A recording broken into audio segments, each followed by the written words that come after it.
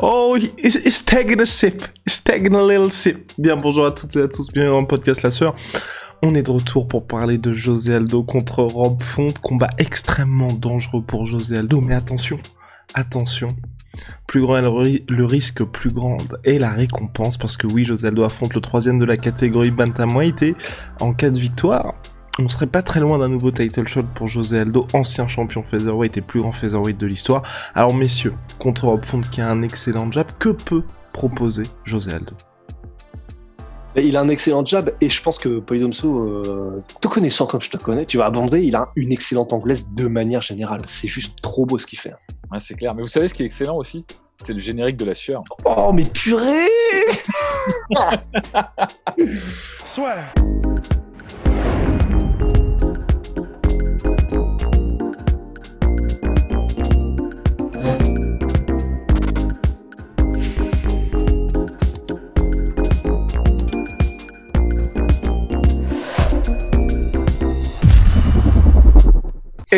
to the vous le savez, alors Polydomso.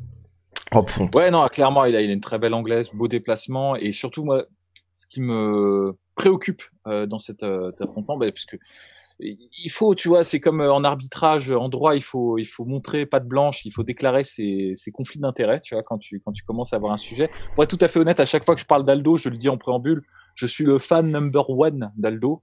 Donc c'est toujours compliqué pour moi d'aborder les choses avec une parfaite impartialité et une parfaite objectivité. Donc je préfère prévenir. Vous avez en face de vous quelqu'un qui a un billet euh, très très favorable euh, Il vis-à-vis sera à de- 100% biaisé. vis-à-vis de José Aldo, mais je m'efforce quand même. Je m'efforce et je vais vous dire, au niveau stylistique, si ça, ne- si ça ne reste que debout, je pense que Rob Font a vraiment toutes les armes pour, euh, pour poser de gros, gros, gros soucis à Aldo. Et même pour le battre, tu vois. Honnêtement, euh, le fait qu'il travaille tout le temps en jab, qu'il feinte, qu'il sollicite tout le temps euh, l'adversaire, qu'il est tout le temps dans la distance de frappe, c'est une pression intelligente. C'est pas il te marche dessus comme un bœuf, quoi. C'est juste il est à distance de frappe, donc il t'angoisse, en étant à distance de frappe, il te force à réagir et euh, il alterne très bien euh, ses, jabs en fait tu sais entre feinte jab et crochet du bras avant ça déjà pour moi un mec qui fait ça euh, en, MMA c'est c'est suffisamment rare pour être euh, pour être euh, mentionné tu vois et euh, Mhm. en réalité euh, ses, ses performances contre bah, Cody Garbrandt et contre euh, c'était Moraes Moraes, oui. Moraes, oh là là, Moraes. Oh là là, KO contre. Moraes. Euh, et c'est très inquiétant parce que honnêtement, c'est ça, il te sollicite tout le temps, il te laisse jamais en paix. Il a Mm. du pouvoir de KO en plus. Il a des mains lourdes, hein, ça se sent hein, quand il frappe, même du jab, tu sens que les mecs sont genre Oh ah, là là. Vois, et il se déplace bien et euh, voilà. Enfin, c'est un mec. Pendant des années, il était très bon, mais il n'avait pas encore mis toutes les pièces du puzzle ensemble. Là, ça fait quand même quelques années que tu sens que bah, il est sur sa lancée, euh, Rob Font. Il est Ouais. vraiment. euh, je sais pas s'il pourra devenir champion parce qu'il y a tellement des tueurs dans cette catégorie. Et il faut être très complet. Et Ski, on va y venir après, n'est peut-être pas son cas. C'est ça, exactement. C'était un point soulevé par euh, Rust que je, je lui laisserai euh, le soin de développer, mais c'est que quand on parle juste du combat debout, il a, je pense, les armes. Je pense que statistiquement, il est fa- favorisé pour faire face à Aldo. Parce que Aldo, il est exceptionnel euh, sur certains échanges, en fait. C'est ça, en fait. Et le truc, c'est qu'à chaque échange qu'il va y avoir, il va peut-être gagner les dix premiers échanges, Mhm. mais sa barre d'énergie, elle descend, en fait. C'est un truc depuis depuis qu'il est à l'UFC en fait les, les seules fois où j'avais pas vu ça c'est quand il était au WEC mais il était tellement jeune et euh, bah, c'est une autre époque donc on peut pas vraiment comparer quoi mais c'est depuis qu'il est à l'UFC tu sens qu'il est toujours dans la gestion de son énergie Aldo il est Mhm. toujours en fait son son explosivité son athlétisme et son ses réflexes parce qu'il a des réflexes de chat même encore aujourd'hui Aldo c'est c'est impressionnant euh, bah c'est ça ça a un coût en fait euh, énergétique pour lui et il doit gérer, il doit balancer entre ça, son agression, parce qu'il fait aussi des agressions très explosives, et euh, sa défense de lutte qui est, pour moi, honnêtement, une des meilleures euh, du game encore aujourd'hui. quoi. Donc, euh, il doit gérer avec tout ça, ce qui fait que faut pas se laisser abuser. Je veux dire, il a gagné les premiers beaucoup de d'échanges contre Piotr, Piotr Jan, qui est pourtant le, un des meilleurs boxeurs et tout. Euh, du, de tout le MMA confondu, moi je pense, hein, à, à mon Mhm. sens. Donc c'est pour vous dire que ça lui permet ce que cette euh, ce trait- cette recette magique permet à Aldo, tu vois, ses mouvements, cette cette cette physicalité qu'il a lui lui permet. Néanmoins, ça arrive à un coup et face à un mec qui est dans l'attrition, qui est euh, qui sollicite beaucoup l'adversaire, qui le fait réagir, qui le pousse, qui a une démarche qui est pas loin de celle de Holloway, si ce n'est qu'il est peut-être plus du bras avant que des deux bras. Ouais. euh, on sait ce que ça donne. On a vu Holloway deux fois, il a, il a répété l'opération contre José Aldo. Euh, Rob Font, il est dans sa catégorie, il est en pleine bourre. Et je te dis, si ça reste debout, j'ai vraiment j'ai, des inquiétudes pour Aldo. Alors évidemment, Aldo a des armes. On voit qu'il a repris, il se réapproprie progressivement son arsenal de kicks. Euh, il en nous a fait de, la démonstration contre Peter Yan, il en a fait la démonstration contre Pedro Munoz. Et contre Pedro Munoz, honnêtement, c'était peut-être un des plus beaux combats d'Aldo euh, de ah mémoire Donc, euh, et justement, en plus contre Pedro Munoz, un dernier round impressionnant, surtout. C'est ça, c'est qu'il avait réussi à, à utiliser peut-être plus des techniques qui étaient moins taxantes énergétiquement, plus de jab. Généralement, Aldo a un très bon jab, mais il utilise peu finalement, assez peu souvent. Et là, ce qui lui avait permis de maintenir la machine. Donc, il y a moyen qu'il nous surprenne et qu'il soit vraiment en pleine forme. Je dis juste que si ça reste debout, j'aurais tendance quand même, compte tenu de l'historique d'Aldo et des difficultés qu'il a montré face à certains types d'adversaires et compte tenu des armes présentées par euh, Rob Font, j'aurais tendance à privilégier Rob Font. Voilà, par adresse fermée, je laisse la parole à, à Rust. Ben, en fait, mais pour euh, pour euh, abonder dans ton sens sur et Aldo et, et, et et Rob Font, mais en fait, déjà pour vous donner un peu une idée, pour ceux qui n'ont peut-être pas encore vu les combats de Rob Font, à quel point il est efficace juste avec son jab. Par exemple, les deux combats que tu as cités, que ce soit le combat contre Cody Gabrandt ou celui contre Marlon Moraes, celui contre Marlon Moraes, si vous allez revoir le combat, en gros, il se fait salement sonner juste avant lui-même de commencer sa séquence de finition. Et je crois que c'est sur un high kick du gauche, un switch kick, il me semble. Il se fait salement sonner.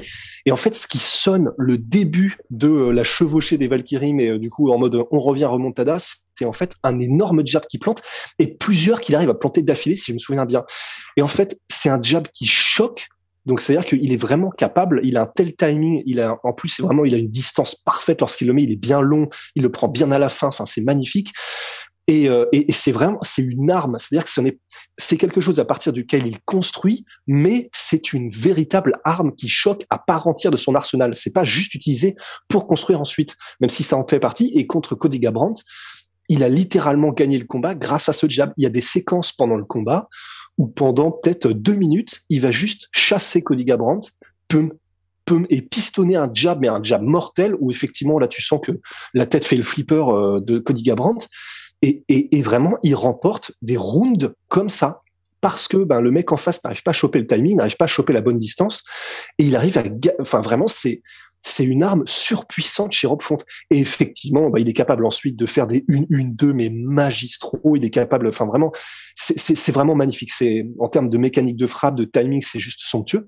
Et le deuxième truc aussi euh, que je veux dire par rapport à Aldo, et en fait qui me frustre, je sais pas ce que tu en penses, que vous en pensez, mais en fait c'est chiant parce que il y a le fait qu'il vieillit et évidemment c'est ça aussi qui joue dans le fait que son physique forcément est de plus en plus euh, euh, emprunté, enfin c'est pas vraiment emprunté, mais c'est qu'il est obligé. Euh, sa barre d'énergie, non seulement elle diminue vite de par son style, mais en plus de ça, elle est de moins en moins large euh, au fur et à mesure de sa carrière, forcément. Mm. Et pourtant, c'est vachement frustrant parce que je trouve que là, il a vraiment atteint un, un, un, un niveau dans, dans son striking et un niveau dans, dans sa dans sa manière de faire du MMA parce qu'on a vu contre parce qu'on a vu contre euh, Chito Vera par exemple qu'il revenait vraiment à un MMA complet en mettant euh, des takedowns en, en, en, en, dominant au sol.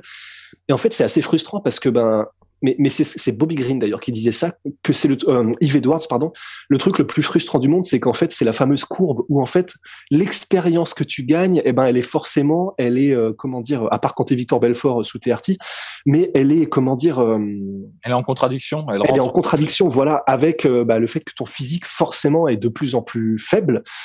Et c'est vrai que c'est horrible parce que José Aldo là, ce qu'il est capable de faire contre les Petrian, contre les Tito Vera, contre Petrian, il y a des séquences, mais franchement, bon, toute proportion gardée, mais t'as as presque l'impression de voir du euh, Giorgio Petrosian, tu sais, dans certains décalages où il arrive, il garde la main pour pas qu'il y ait de, de, de, réponse de la part du boxeur, etc. Il décale, il finit par un kick, des trucs mais juste magistraux, des genoux en interception, des trucs où tu vraiment, mais tu, tu, c'est un fantasme quoi. Enfin, en tant que fan de MMA, de striking, c'est un fantasme pur. Et pourtant, effectivement, même si son style est de plus en plus pur, de plus en plus essentiel et, juste somptueux, bah effectivement, même malgré ça, malgré le fait qu'il il enlève tout déchet de plus en plus, eh ben, eh ben, ça, n'empêche pas le fait que deuxième, troisième, quatrième round, bah, c'est de moins en moins sharp, quoi. et ça, c'est vrai que c'est terrible. Non, c'est, bah, t'as as parfaitement euh, résumé le, la situation. Je, je, je, suis pas loin de penser comme toi. Je, je trouve que ce qui nous montre Aldo, c'est honnêtement de sa carrière, c'est ce qui, ce qui est le plus beau en fait. Euh, même, même techniquement, même quand tu, même quand il était, euh, quand c'était euh, juste Aldo qui faisait que de l'anglaise, il y a des trucs qu'il faisait qu'il avait jamais fait avant. Moi, je suis sa carrière depuis le WEC à Aldo. quand il était, alors c'est vrai que c'est quand tu fais un avant après, ça fait c'est chaud. C'est là où tu vois qu'il y a un déclin physique quand même. Même s'il est encore, il est au top, hein, c'est pas c'est pas catastrophique, mais ne serait-ce qu'en termes de vitesse, j'invite les gens à regarder le deuxième combat contre Chad Mendes, juste pour voir la vitesse à, la tête partent les deux, c'est hallucinant en fait. Et euh, aujourd'hui, il a plus du tout cette vitesse-là. Il l'a plus, tu vois. Mais en revanche, il y a des trucs qu'il fait qu'il faisait pas avant. Tu vois, quand il feinte avec le jab et qu'il fait genre deux crochets au corps ou des trucs comme ça, mmh. c'est magnifique en termes. Euh, enfin, même contre Peter il y a, eu mmh plusieurs moments où il a ce, ce, ce, type de technique. Donc, euh, c'est impressionnant. Donc, effectivement, je suis d'accord. je pense qu'il y a une, une évolution de sa technique et qu'il est meilleur ou en tout cas plus expérimenté, plus intelligent qu'il ne l'était euh, avant. Euh, néanmoins, c'est vrai que là, pour le coup, c'est un vrai problème. Euh, ce... Enfin, c'est un vrai problème. Faut l'exploiter encore. Hein. Tout le monde n'est pas capable de de, de s'engouffrer dans cette faille-là parce que c'est une faille. Enfin, faut survivre deux rounds déjà, premièrement. Et deuxièmement, tu vois, par exemple, Pedro Munoz, il a essayé ça. Il a essayé de ralentir avec les low kicks. Il a essayé de lui mettre la pression. C'est, c'est compliqué parce que c'est pas seulement le faisant travail. Si, si tu te mets en face de lui, que tu marches sur lui, que tu prends des coups, ça suffira pas en fait. C'est, il va pas se crever comme ça. Il est intelligent. Il va, il va, il va travailler. Il va pivoter. Justement parce que une des choses qui fatigue le plus les combattants, c'est de devoir réagir quand on avance sur toi. C'est pas nécessairement d'avoir une activité, de prendre des coups, de te protéger, de, de frapper. Ça, c'est pas ça qui fatigue, fatigue le plus. Les mecs s'entraînent tous les jours à faire ça.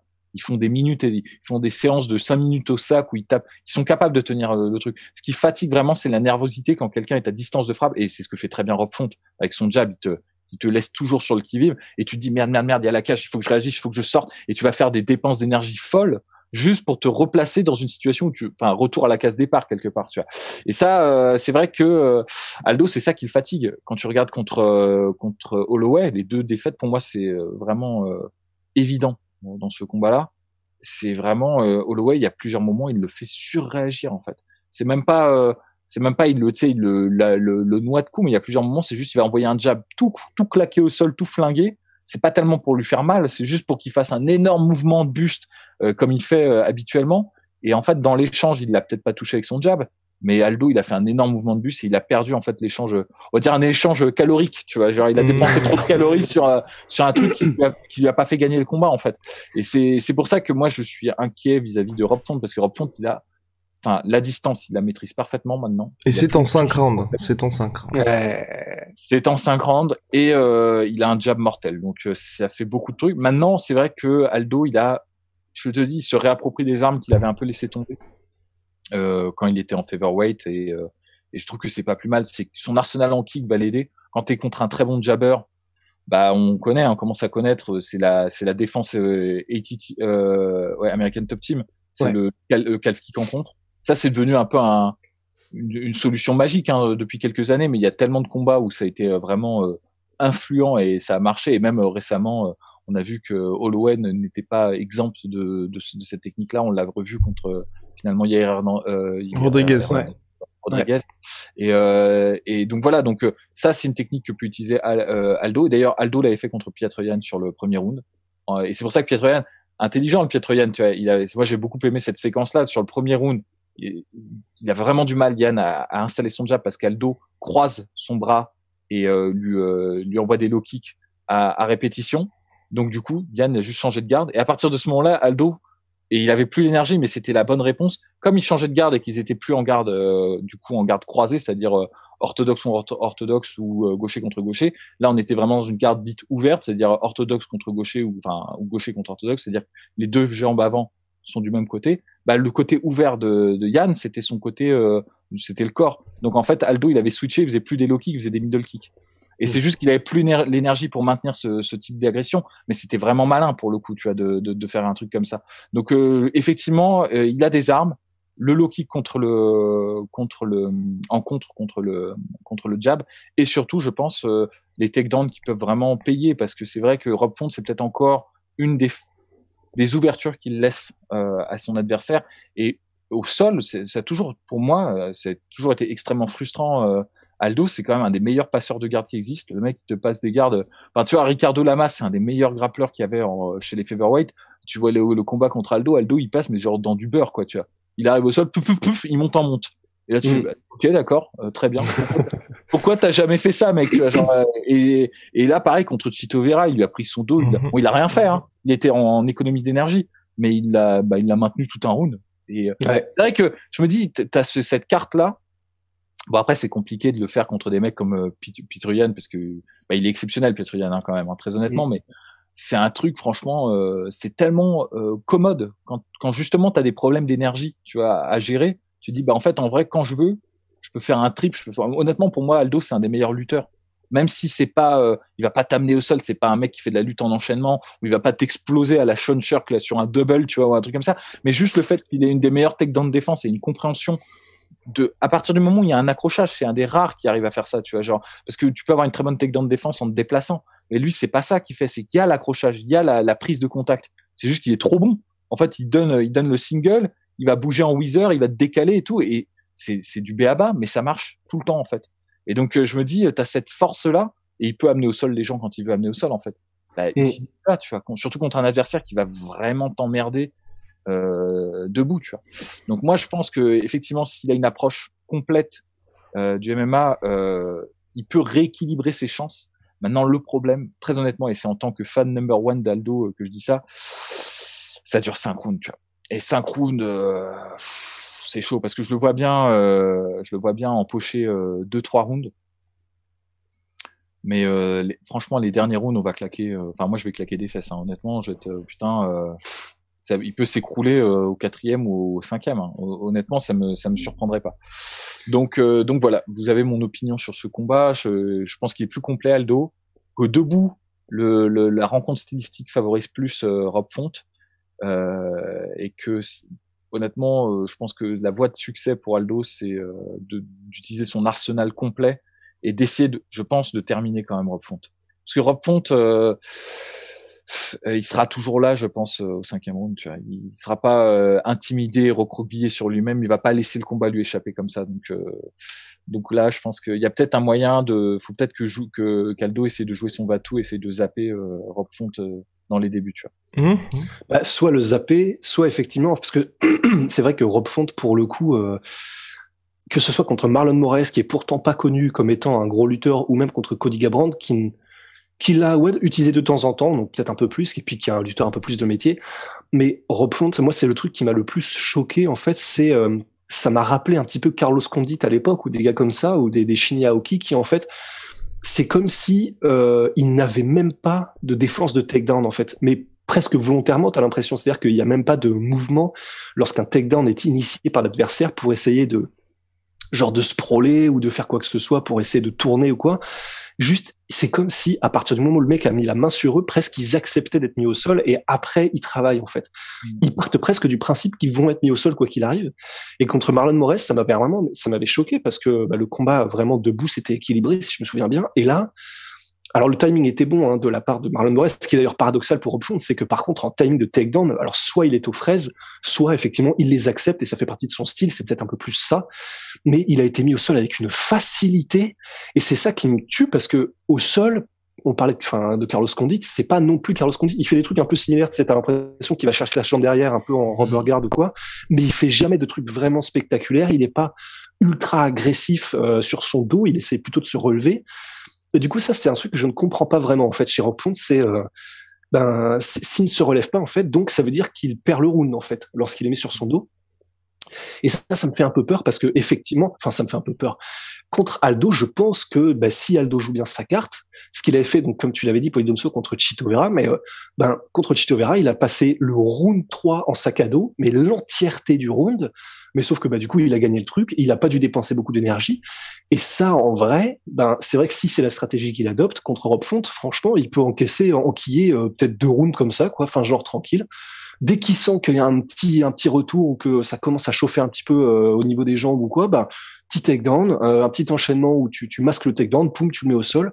Et puis, bah, tu passes tranquillement 3-4 minutes, tu gagnes le round avec Rob Font où tu le contrôles. Comme contre Chito Vera, bon, bah, t'essayes, voilà, de soumettre, tu montres qu'il y a de l'activité pour pas que l'arbitre n'intervienne, mais euh, juste tranquille, quoi. Tu restes maître de ton, maître de ton bateau. Mais, euh, mais moi, c'est c'est ça, en fait, qui me fait un peu peur dans le sens, euh, qui rendent le combat potentiellement moins compétitif, ce serait qu'il se passe ça en fait. C'est-à-dire que debout, un truc magnifique, et sauf que quand Rob Font est mis au sol, bah on a euh, trois minutes de contrôle de, de, contrôle de José Aldo et on se dit ah ouais, bah il est super bon Rob Font, mais j'avoue sur ce coup-là, bah euh, bon. Donc on verra bien, mais j'aurais peur que ça arrive quoi. Ce qui est possible, hein, on regarde du nouveau José Aldo que nous avons vu, messieurs. Place au pronostic final. Poli, tu vois qui ah, j'ai mal parce que parce que je vois Rob Font en fait. J'ai un très très mauvais pressentiment euh, là-dessus, malgré le fait que Aldo euh, nous ait montré une belle forme sur ses sur ces deux derniers combats et une, une façon intelligente de s'adapter à des adversaires. Là, c'est cinq rounds et c'est un style qui est pas facile pour lui. Et, Rob Font, il a la dalle quoi. Et euh, je pense qu'il va pas laisser passer sa chance honnêtement. Donc je vois bien un ticket au round 4 pour pour Rob Font. Ben Putain. Ouais, moi aussi, en vrai. Parce que, à moins, ouais. Un chaos peut arriver, un chaos éclair, mais il est quand même sacrément dur au mal et, et vétéran malgré tout, Rob Font. Euh, ouais, pareil, pareil. Ça me fait chier aussi parce qu'on est tous fans ici de José Aldo, c'est c'est trop beau ce qu'il fait. Mais j'avoue, ouais, pareil, je vais mettre euh, KO. En vrai, ouais, je le vois aussi un petit un petit round 4, un truc horrible comme ça, je, je vois bien. Ouais la classique Aldo, quoi, j'ai envie de dire. Euh. Ouais, c'est ça. José Aldo par KO. Au round 2. Yes. José Aldo par KO. Il reste de l'espoir, il reste de l'espoir, ouais. Ça y est, il va gagner. Mais moi, je, moi, je serais trop, trop heureux, quoi, parce que ce serait ah. En, pour le coup, euh, tu vois, on, on, a dit beaucoup sur euh, sur le, les, les, petites escarmouches qu'il y a eu entre Khabib et Aldo sur le fait que, mais je pense que tout ça c'est de la mauvaise interprétation de, de, ce qui a été dit par par Khabib je vais me faire un peu l'avocat de, de Khabib parce que je comprends ce qu'il veut dire. Avocat du diable, tu veux dire? Ouais.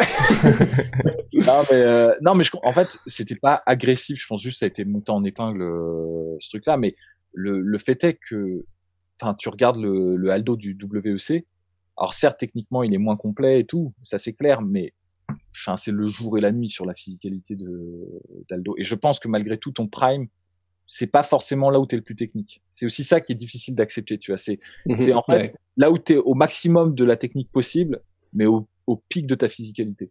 Et ça, le pic de ta physicalité, ça arrive une fois, pas deux. Ça, je, ça je, là, je, je, souscris totalement à ce que dit euh, Khabib sur ça. Sur la technicalité, ça, bien sûr, tu peux apprendre et tu peux avoir un, un deuxième, on va dire, un, une, deuxième partie de carrière où tu où tu te retournes et c'est intéressant. Tu vois, par exemple, je pense à Mark Hunt, par exemple, qui pendant longtemps c'était un peu la blague, tu vois, parce qu'il avait, je sais pas, il était sur une série de sept défaites euh, au Pride, il avait été chopé à l'UFC, il voulait s'en débarrasser, c'était le seul combattant du Pride qui voulait pas garder, tu vois, parce qu'il avait réussi, réussi, à choper un lot et puis il avait rajouté deux trois trucs dans son game. Physiquement, il était pas aussi fort qu'avant, tu vois. Mais euh, ça, ça lui a permis de, de faire un rebond, tu vois. Pas, ça. Néanmoins, on va pas se mentir, s'il avait été à son, son pic physique et que tu vois techniquement il avait fait le, le truc euh... enfin, tu vois moi je pense que son pic ça, son pic physique c'était quand il avait combattu euh, Crocop la première fois au Pride qu'il a gagné d'ailleurs hein, euh. donc euh, c'est c'est tu vois c'est ce genre de, de truc et je pense que Aldo malgré tout malgré le fait qu'il se soit réinventé et que c'est super intéressant et qu'il arrive à se faire un nom et c'est ça c'est incroyable tu vois contre des, des jeunes loups euh, dans une catégorie inférieure dix ans après son prime bah on est quand même dix ans après son prime mec, tu vois donc euh, euh, enfin, c'est chaud. Je, je, le vois pas devenir champion chez les euh, chez les Bantam. Ça me, ça, Là, il y a trop de monde. Là, il y a trop de monde. Il y a trop, il y a trop de monde. Il y a trop de monde et il y a des mecs vraiment. Euh, bah déjà, Yann Sandagen dit la chose. Je pense que les trois, c'est compliqué pour lui. Ouais. Ah, stylistiquement, c'est c'est des cauchemars ces mecs-là. Mais par contre, je pense qu'il bat le champion. Ah bah, Quoi? ah, Sterling. Moi, mais moi, j'ai, moi, franchement, c'est mon grand, mon grand regret c'est qu'il n'y ait pas eu ce combat. Parce que Sterling, excellent grappleur, euh, plutôt complet. Enfin, moi, je, trouve bon Sterling se tape une sale répute et tout, et il fait rien pour pour arranger les choses avec ses déclarations publiques. Mais euh, mais euh, c'est un combattant super intéressant et super bon, tu vois, en dépit en dépit de ce qu'on peut dire. Et euh, j'aurais bien voulu voir ce combat. Euh, moi, un autre combat que j'aimerais bien voir, c'est contre euh, Merab. Euh, ah, Merabishvili. Ouais, mm. Parce que gros gros lutteur contre Aldo, moi ça me fait toujours marrer. Moi, je, veux je, veux voir, ce genre de confrontation, c'est c'est marrant, tu vois. Parce que là, le foot, c'est on lui fait pas des cadeaux quand même à Aldo. Hein. Là, honnêtement. Tito Vera, mm. striker ultra venimeux, ultra chiant, euh, vicieux en plus de ça, tu vois, qui peut vraiment te, te claquer un KO euh, à partir de nulle part. Euh, Pedro Munoz ultra complet, de gros low kick, Dur. euh, très bonne endurance, dur au mal. C'était pas facile comme match-up pour lui aussi. Et là, bim, Rob Font un, un énorme jabber et tout. Moi, je me dis putain, euh, c'est quoi la prochaine étape S'il arrive à passer Rob Font, ils vont lui mettre 100 dagon quoi. Et ce sera Ouais. plus en termes de de, de, de, de match-up statistique. Donc voilà, donc euh, je, je, je suis content, satisfait de, de ce que nous montre Aldo, c'est exceptionnel. Maintenant, je me fais pas trop trop trop d'illusions non plus sur euh, sur où, où est-ce qu'on en est dans- au niveau de sa carrière, tu vois. Enfin, Alrighty. En tout cas, affaire à suivre. Big out, my sweet pea, my sweet protein, moins 38% sur tous mes protéines avec le code la sueur. Mais non, sponsor de l'UFC, sponsor de la sueur, allez, see ya.